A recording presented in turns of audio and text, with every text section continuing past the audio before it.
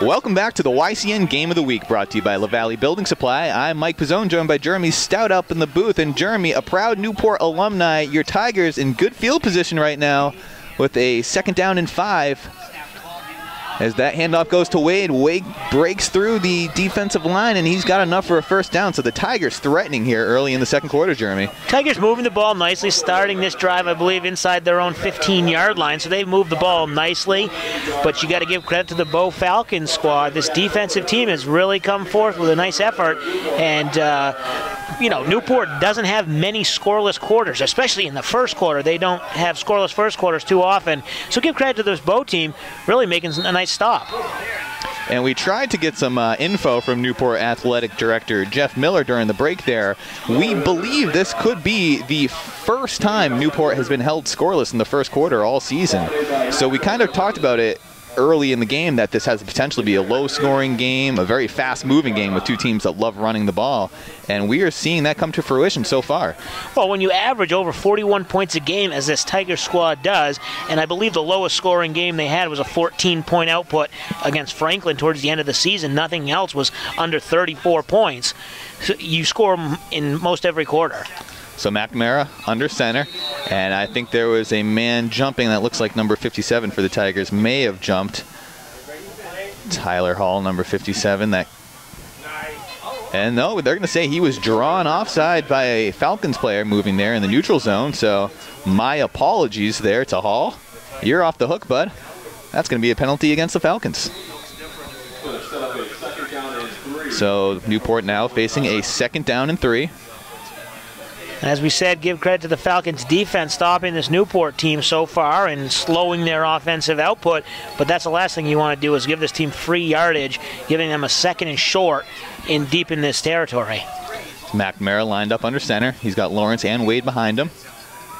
Handoff is going to go to Lawrence. Lawrence breaks free. He's going to find the end zone over the goal line, and that is a 6 0 lead for the Tigers as Lawrence just bullies his way into the end zone.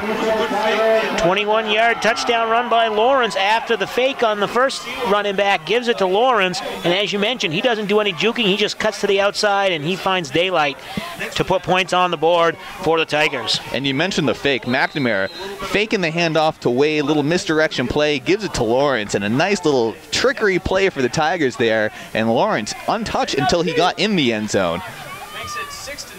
So that's a 6 0 lead for the Tigers pending the extra point try here.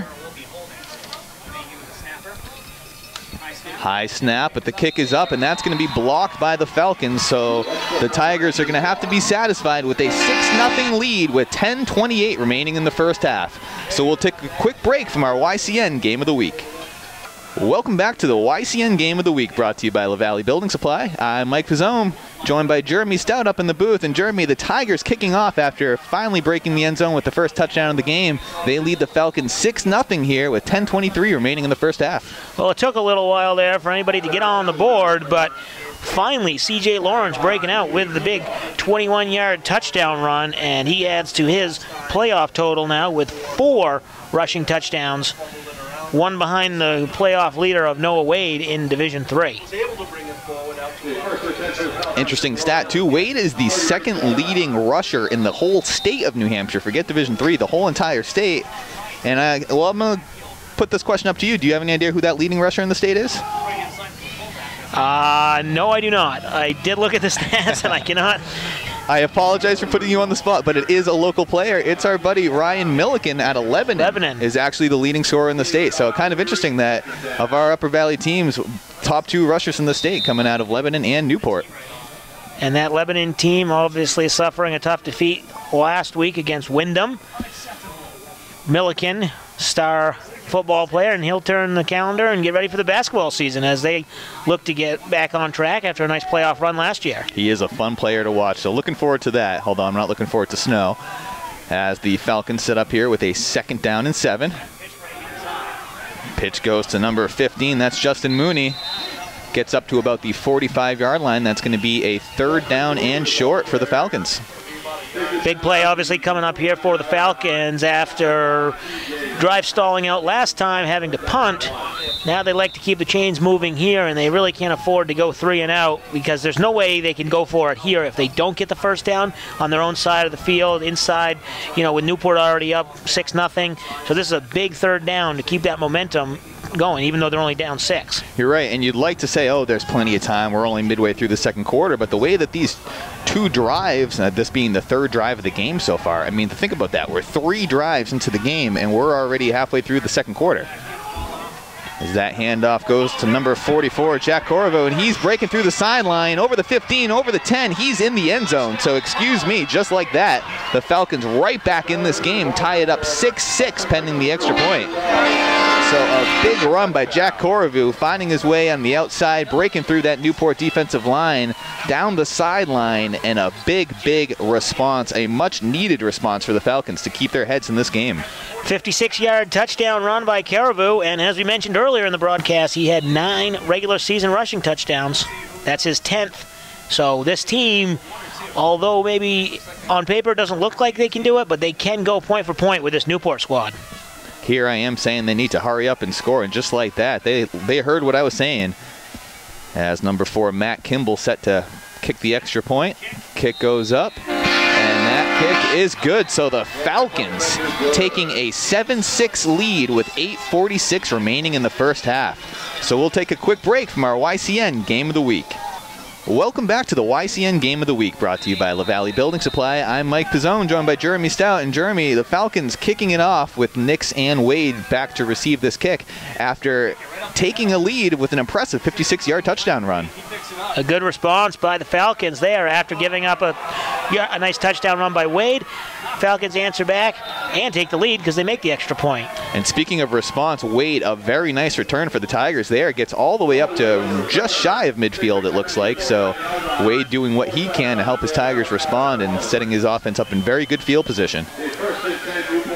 See what the Tigers can do to answer this. I'm sure they'll be keeping it on the ground as we've seen so far with Wade and Lawrence really making the bulk of the carries. Nix getting mixed in as well. But we do see uh, McNamara passing every now and then.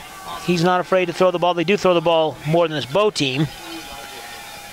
So McNamara under center takes the snap, fakes the pitch, and right on command, like you said, he finds Nix with a nice completion. Nix free on the sideline, over the 30, over the 25, over the 10, and he's into the end zone. So Jeremy calls it McNamara, just like that, nice passing play, easy pass to Nix on the sideline, and Nix breaks through that Falcons secondary and into the end zone. So Newport immediately responds to the Falcons touchdown and now has a 14 to 7 lead pending the extra point try. A 51 yard touchdown pass. 40 yards of it after catch by Nix, but a great job by McNamara rolling out to his non throwing side as we've seen a couple times this year. Kind of untraditional roll out there, but a great pass and connection, and now they'll go for two. I got to ask, have you did you hack into the Newport coaching frequencies? I mean, you, you called that play, Jeremy. I'm kind of impressed. As McNamara rolls out to his right, he's going to let it fly, and that ball's going to be knocked away by a Falcons defender. So I want to hear it. What happened? How, how'd you know that? I've seen a lot of this Newport squad, and I know that they got to mix it up every now and then. So just like that, and excuse me, I was wrong on the score earlier. Newport now leading 12 to 7 with 8:23 remaining here in the first half. So we'll take a quick break from our YCN game of the week. Welcome back to the YCN Game of the Week, brought to you by LaValley Building Supply. I'm Mike Pizzone, joined by Jeremy Stout. And Jeremy, we talked about the Falcons responding, but Newport immediately responding, scoring on its first play from scrimmage after the Bow touchdown, and now leads these Falcons 12 to 7. So a great, great response from the Tigers. As we mentioned in the pregame, there could be a lot of scoring, and despite what happened the first quarter, where Bow took eight minutes on their first drive and had to punt, now we're in the second quarter, barely four minutes have have gone by, and we've seen three touchdowns. Well, I think I predicted a lot of things in the pregame. I think I predicted high scoring and low scoring just to cover my bases. So at this point, I can't be wrong. But the Falcons are going to start this drive now on the, looks like the 24 yard line. So I believe this is only their third possession, Jeremy, of this game. One punt and one touchdown run. So see if they can keep their momentum going from the last drive. Matthew Harkins under center, hands it off to Corriveau, who's the one who broke free for that touchdown on the previous possession. That time he's met by the Newport defense after about a gain of five, it looks like. Corriveau is only a sophomore, and he is a big one, and that's what happened on the touchdown run. He broke free from the through the line, and nobody in the secondary had a chance to take him down. So that's the type of player where you got to stop him at the line of scrimmage because once he breaks into the secondary, it's going to be tough to take him down. Yeah, and a lot of young players for the uh, Falcons here in these skill positions. Quarterback Matthew Harkins is a sophomore himself, so future looking bright for these Falcons. As that pitch goes to number 15, Justin Mooney, a junior. Looks like that play was going to be stopped just behind the line of scrimmage, set up a third down and six. Just a reminder to local sports fans, 94.5 ESPN Radio's Franklin and House Sports Talk Show is now on YCN. Every weekday evening at 6 p.m., YCN will replay 94.5's noon to 1 p.m. Franklin and House Show. Tune in to hear what's hot in local sports. So the Falcons facing a third down and six. Harkins under center. Takes the snap, and he's going to roll to his right, looking to pass. He lets one fly, but that's going to be behind his intended receiver and fall incomplete. That's going to be a fourth down and six. Jeremy, I'd imagine no decision here for the Falcons coaching staff. You got to punt this one away, right? You got to punt the ball away, and uh, the first three and out now for either team. Putting, you don't want to give Newport good field position, so hopefully you can punt it. Not you're not going to get it deep, but at least pin them back inside their own 30 and make them earn it here in this in this second quarter. But you're only down five right now. If you can, your defense can make a stand here. Not not too bad. So the Falcons set for what will be their second punt of the day. Oh, almost blocked by number 22 there for Newport. But that's going to take a little bit of a Falcon bounce. And the Tigers will set up shop from the 31 yard line when we come back from our YCN Game of the Week. Welcome back to the YCN Game of the Week, brought to you by LaValley Building Supply. I'm Mike Pizzone, joined by Jeremy Stout. And it's the Tigers set up with a first down and 10 on their own 28-yard line. McNamara takes a snap. He hands it off to Wade, and Wade has some running room. He's still on his feet. We'll see if officials not mark him down, but they're not going to, and that's enough for a first down. About a 12-yard gain there from Wade, just staying on his feet. Good awareness there by Wade as he gets tried to. They try to spin him to the ground. He keeps his balance, keeps his awareness, gets back up, and a nice first down run. So continuing to keep that clock winding, continuing to gather up these first downs. Newport set up once again with the first down as that handoff goes to Lawrence, and Lawrence continuing to move his feet after contact, and he's going to have about a 12, 13 yard gain on first down. So that two headed beast of Wade and Lawrence just continuing to do what they do. And normally you don't see Coach McElravy using this much of a balance. Last week, obviously, it was 11 to 11, exactly split. But in previous games of the regular season, you don't see this even of a split. Wade is clearly the featured back, and he'll get 60 to 70% of the snaps, and then the rest will be divvied up between Nix and, and Lawrence getting the bulk of the remaining ones. But right now, they're just going every other, basically. So the Tigers set up with the first 10 on the 45-yard line, and it looks like the Falcons may have jumped in the neutral zone. That's going to be the call. So the Falcons just continuing to shoot themselves in the foot and give Newport better field position, something that you cannot afford to do against this undefeated 9-0 Tiger squad. Yeah, this Newport team is going to take advantage of every single mistake that Bow makes. And uh, last time they gave him free yardage on the on the touchdown run by by Lawrence and here we'll see if that hurts the Falcons. So now facing a first down and five from the 40 yard line. McNamara under center. We got Nix in motion in the backfield. Nice hard count by McNamara. You can see those defensive players twitching as that handoff goes to Wade. Bounces off a few people, but he's going to be stopped behind the line of scrimmage for a loss of one. But you can see, Jeremy, that the Bow defensive line really kind of thrown off by the cadence that McNamara is shouting out there under center. I mean, you can see those defensive linemen just kind of twitching. Obviously, we saw the encroachment penalty on that previous play. So I think McNamara is doing a good job kind of making things uncomfortable for that Bow defense. Well, you get a little bit of a chess match going, I think, between these coaches and these squads because Newport is going to run the ball. They're going to pound it. So now You've got the Bow Falcons defensive line saying, we're going to pin our ears back and we are going to get this guy at the line of scrimmage. So then you have McNamara trying to play the hard count and try and drive that team off sides.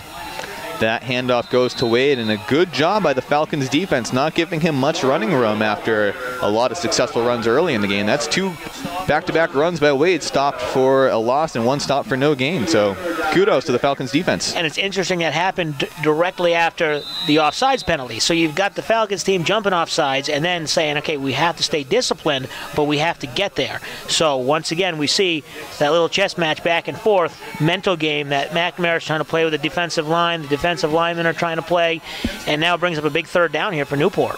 Like you said, third down and six just inside four and a half minutes to go here in the first half.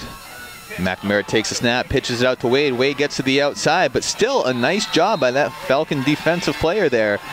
They're going to stop Wade for about a gain of two, but that's not going to do it. That's only going to set up a fourth down and four. So I mean, yes, the Tigers are beyond midfield, but Jeremy, I'd imagine you got to punt this one away if you're Newport. I would think you'd want to punt this away. The way the Falcons team has now stopped Newport for three straight times, gaining only a yard, and the way the Falcons squad has responded on offense the last time, the, the previous time they had the ball. So that's number 45, Tyler Sharon, set back to punt for the Tigers. Block continues to wind. Snap to Sharon. Sharon lets it up, and a good kick for the Tigers. That's got a nice Newport roll. If we, yeah, and the Newport player downs the ball. It looks like about the three or four yard line, so it's going to be tricky field positions for the Falcons to start here. So we'll take a quick break from our YCN game of the week. Welcome back to the YCN Game of the Week, brought to you by LaValley Building Supply. And it's the Falcons backed up deep in their own territory, facing a first down from the four yard line as they just hand that one off, trying to get as much yard as possible and get their backs from their own end zone. Yeah, as the clock winds down, the first half is coming to a close shortly. A few minutes left here, but you don't want to do anything stupid or foolish. So if you're the Falcon squad, just get out of the shadow of your own end zone and uh, try and pick up a first down. And if you can make a, if you can get a good play and a big play, then let's try and put some points on the board here going into the locker room. But you don't want to cause a turnover this deep in the in your own end. Yeah, we've seen the Falcons have a lot of success on the ground, but it gets a little bit harder to run when you have your back so close to your own end zone like that. Something about it, it's just those holes don't develop like they do, say, at midfield. And I think also the Tigers say, okay, we know what you're going to do. You're going to run here. And they've been able to stop them on the first two plays. That's right. The Tigers still facing a third down and 10 from, they're marking the ball on the three yard line. So still got to make something here because even with a punt, you're going to be giving the Tigers some pretty good field position late in the first half.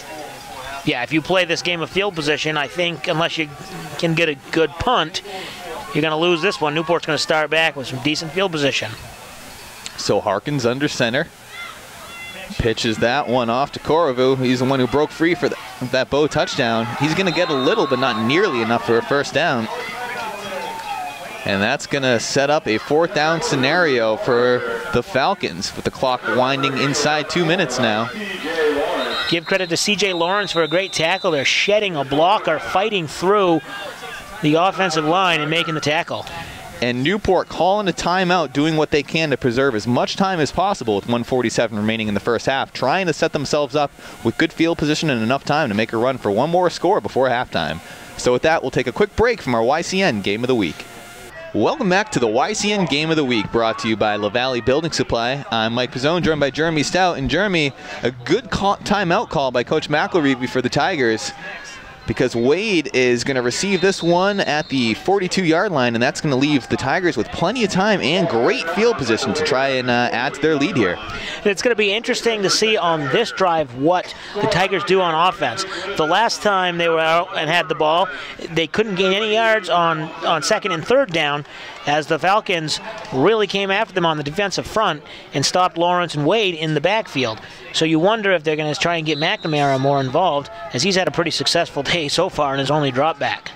Well, we, we saw what happened the last time you called for McNamara to pass, so we'll see if uh, you've tapped into the Newport frequencies once again and have called this play. As McNamara hands it off to Wade, I'm proud to say, gets to the outside, finds some room on the sideline, and he's going to have Well, might be out of bounds just before the first down. We'll have to see where they mark that. But another good first down run by Wade. Yeah, a good rush, and that's going to be the key, I think, from here on out is getting Wade and Lawrence to the outside because something has been picked up by this defensive line where they are coming after the Newport Tigers offense in the middle of the field, in between the hash marks. But when these two runners get outside, that's when they've had a little bit more success. So the Tigers facing a second down and two with the clock continuing to wind with 134 to remaining in the first half. McNamara under center, takes the snap. He's going to drop back to pass, lets one fly. He's got a man, that's Nix. And Nix is going to catch it into the end zone. A beautiful, beautiful connection from McNamara to Nix. Couldn't ask for a better pass. I mean, it's like he dropped that into the fingertips of Nix as we watch this replay. An absolutely perfect pass from McNamara to Nix right in the corner of the end zone. Wow, what a beautiful pass. 34 yard touchdown pass.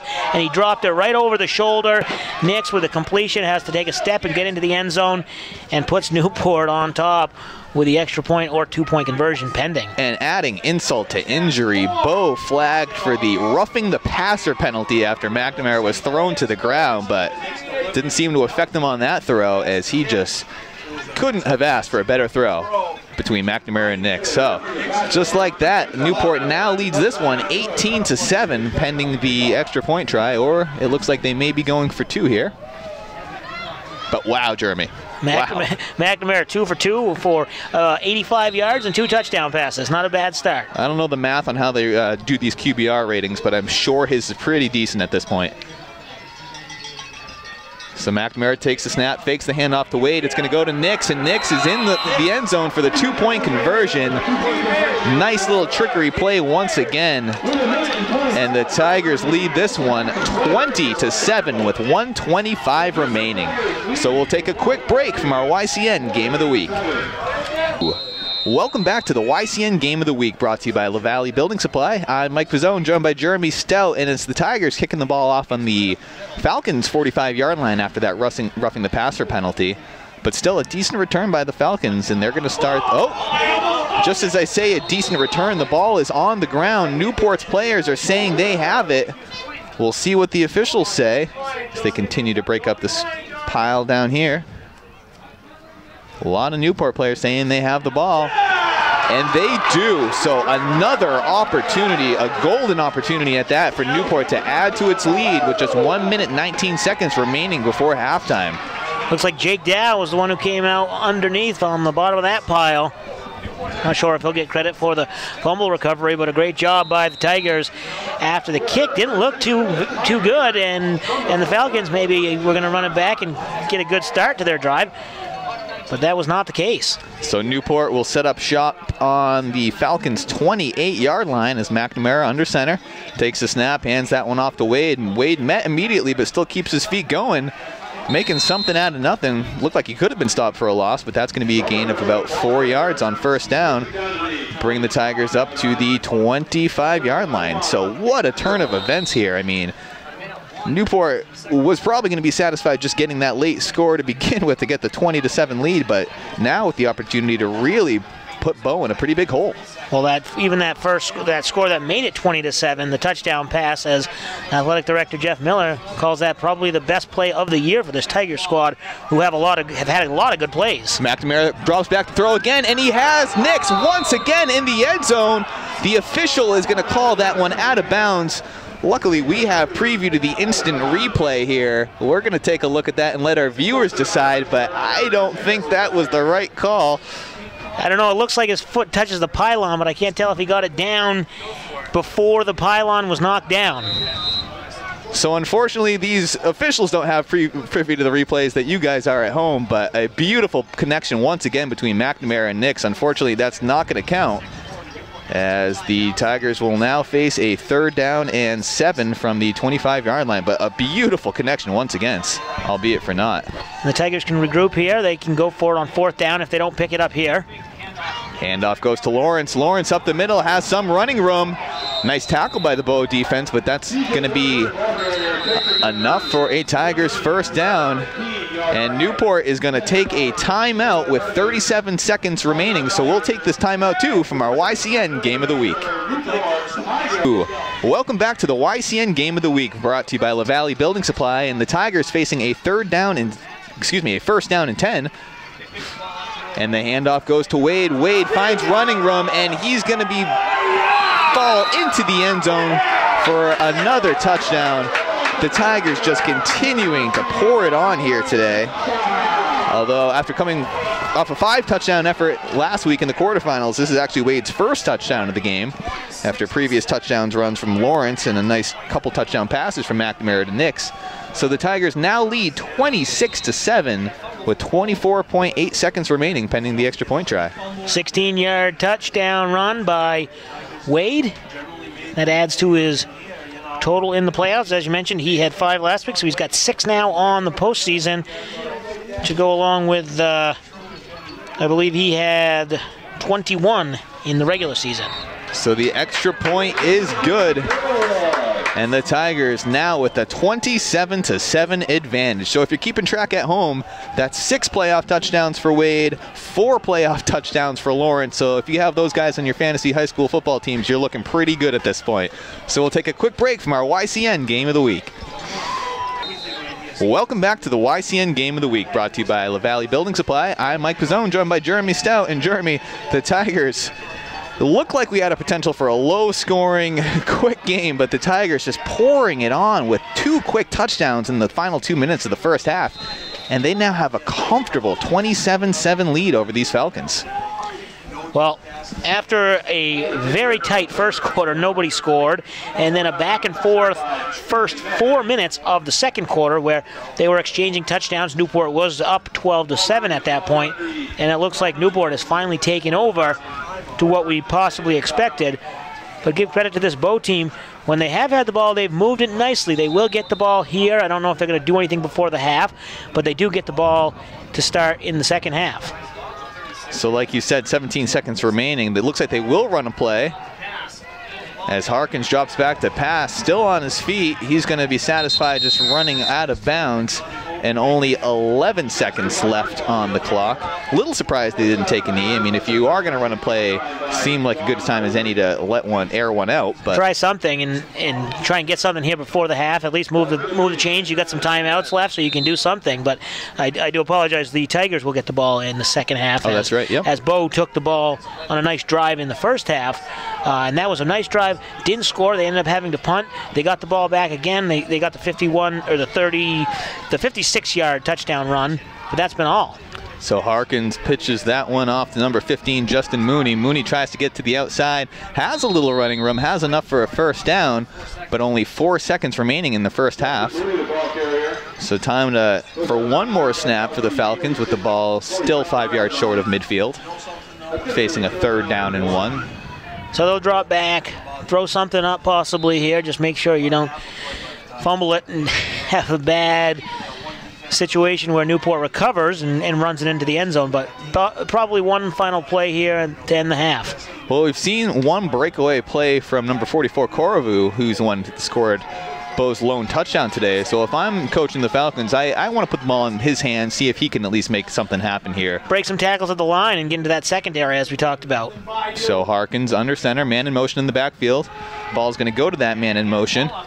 That's Alexander Hoker. He's going to get to the outside and out of bounds, but that's going to do it for the first half here at Marion Field in Newport, where it's the top seeded and unbeaten Newport Tigers leading the Falcons 27 to 7.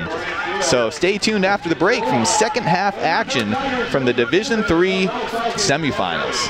Stay tuned for more from your YCN Game of the Week.